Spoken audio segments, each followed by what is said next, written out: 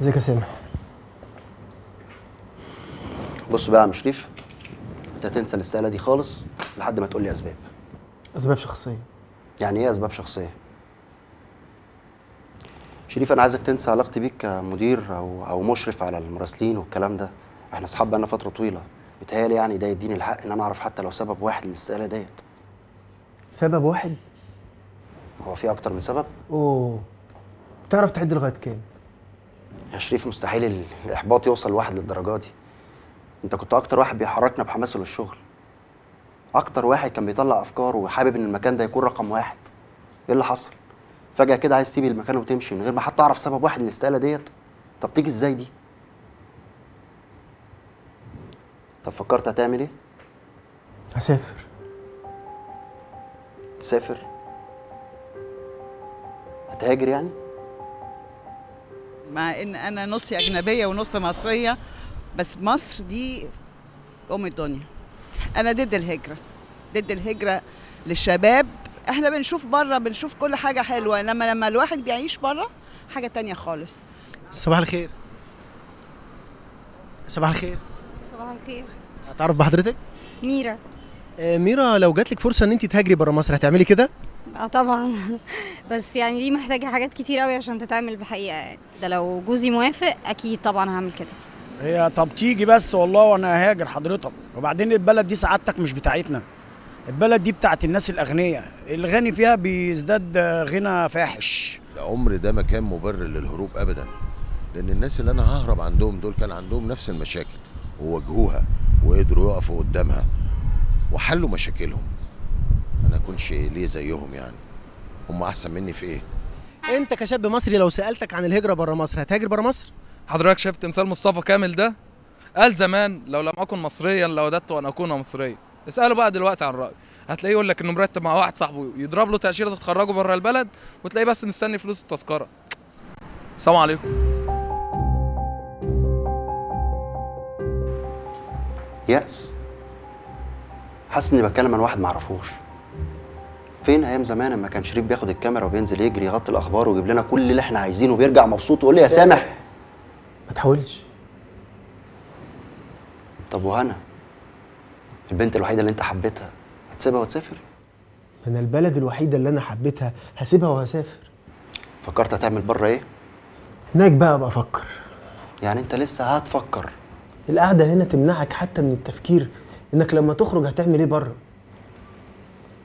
هناك بقى ابقى اقرر بص يا شريف أنا عارف إن حالتك المادية مش متظبطة. بس أنا اوعدك إن الفترة اللي جاية الدنيا هتتعدل. يعني القناة بدأت تشتغل وبدأت تحقق أرباح كويسة وده يخلينا الفترة اللي جاية أكيد مرتباتها تبقى أحسن. تالي بقى مالكش حجة تاني. 25 مليون.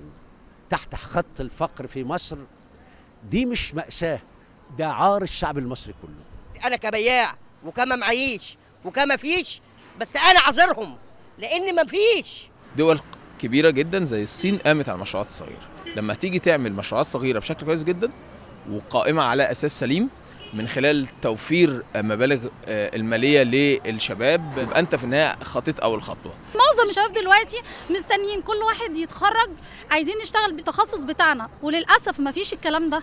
أصبحنا دولة استهلاكية وكل اللي نقدر نعمله هو الاقتصاد الخدمي وليس الإنتاج الصناعي والزراعي زي ما كان عبد الناصر في الحقبة بتاعته كان بيعمل.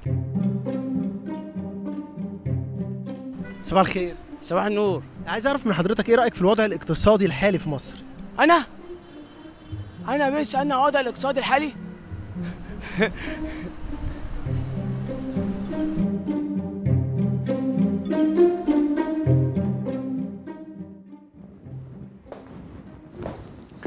فين شريف؟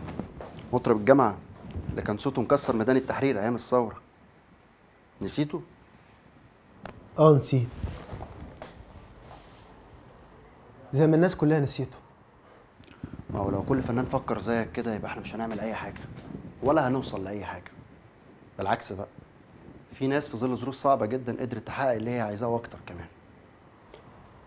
هم قدروا يحققوا اللي هم عايزينه وأنا ما قدرتش. طب مش يمكن أنت اللي ما حاولش ما فيه كفاية؟ حاولت. قد ما طاقتي خلتني أحاول. إحنا مش حضارة 7000 سنة؟ دلوقتي بقينا إيه؟ لا بقينا. بقى عندنا فرصة نعمل اللي إحنا عايزينه وفي أي وقت.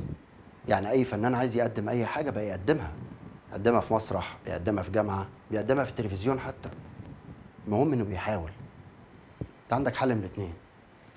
يا تكمل وتطلع الفن اللي جواك وتعبر عن اللي جواك ده توريه للناس. يا إما تفضل زي ما أنت. وساعتها هتدفن الفنان اللي جواك.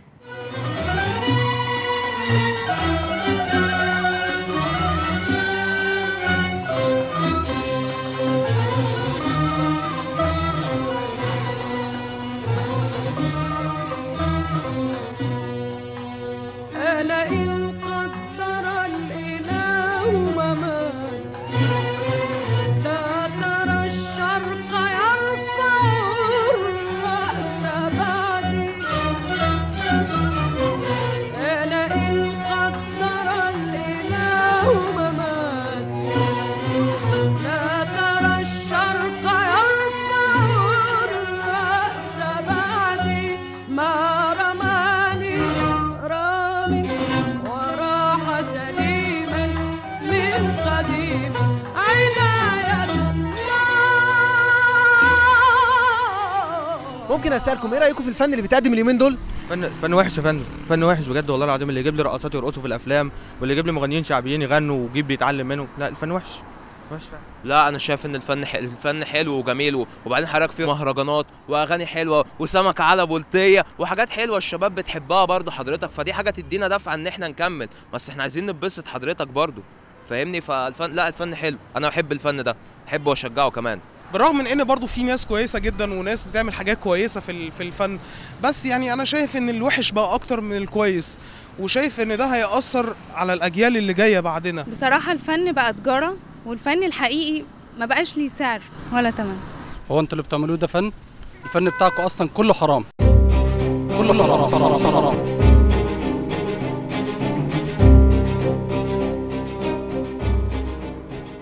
طب وعمر؟ تسيبه لوحده هنا في الظروف اللي هو فيها دي. أكيد لما الظروف تتظبط هبعت أجيبه يعيش معايا تفتكر هيوافق؟ واحد ضحى بعينين الاتنين عشان البلد دي تعيش تفتكر هيوافق؟ واحد كان بينزل الشارع وبيصرخ بعلو صوته. عيش حرية كرامة عدالة اجتماعية. تفتكر هيوافق؟ يا أخي فوق بقى. وفي الآخر وصل لإيه؟ وصلنا كلنا لإيه؟ ولا أي حاجة. بقى عنده عاهة. عاهة هيفضل عايش بيها العمر كله. عاهة عشان خاطر حلم اتحول لكابوس. يبقى على الأقل يدور على بلد يعيش فيها يلاقي فيها شوية حقوق ملهاش في بلده. بقول لك إيه؟ أنت عارف إن عمر نزل الثورة عشان ياخد حقه هنا في البلد دي مش براها. وفي الآخر لا خد حقه ولا فضل سليم زينا كلنا. بقول لك إيه أنا مش هضيع وقتي معاك. أنا هخليك ترد على نفسك بنفسك. مش دي التقارير بتاعتك؟ إحنا عملنا ثورة ليه؟ عشان نخرب ولا عشان نشتغل ونعمر بلدنا؟ ثورة 30 وثورة 25 هم دول بجد ظبطوا مصر ورفعوها في تقدم. في حد ما يخرجش في في في ثورة ثورة تعيد لنا ذكريات جمال عبد الناصر وتعيد لنا أمجاد مصر في أنور السادات. مين ما يخرجش بيها لو حتى فقد كل أمواله؟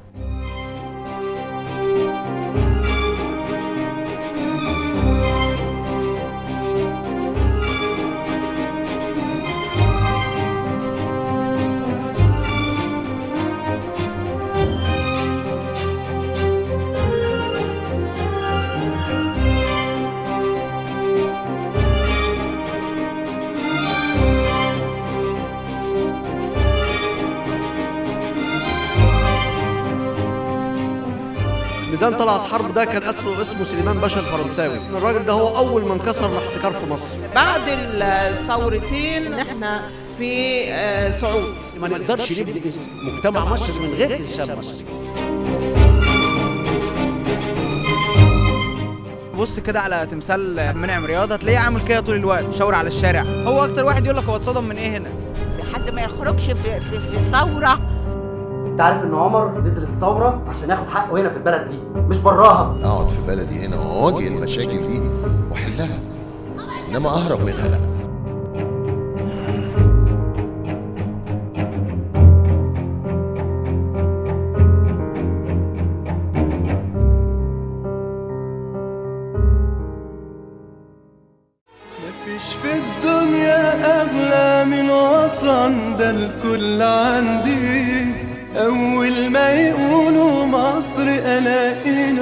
أبكي لوحدي.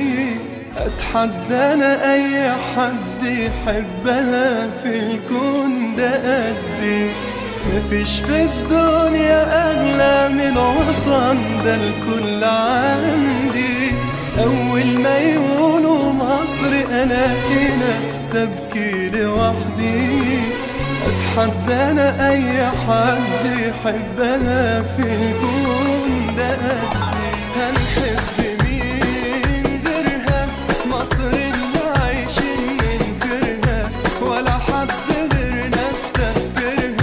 cheio